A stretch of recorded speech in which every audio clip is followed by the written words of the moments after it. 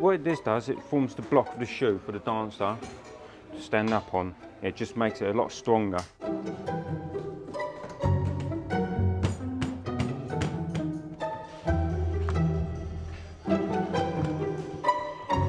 It's a privilege to know what you made is going on stage and you know a lot of times dancers more concentrating about what they've got to do and then what the shoe because if they know what the shoe's like then they just got to worry about what they've got to do on stage. We make everything. We buy all our raw materials. So we produce the uppers, the satin part. We make all the bits that go into the block.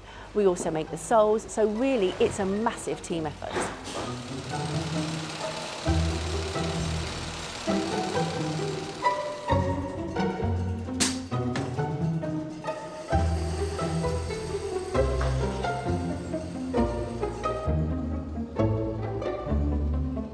We believe that our heritage craft skills are an important cultural resource. They're part of our living heritage and they're as important to us as, say, our stately homes or our historic landscapes and gardens and the art that we have on the walls.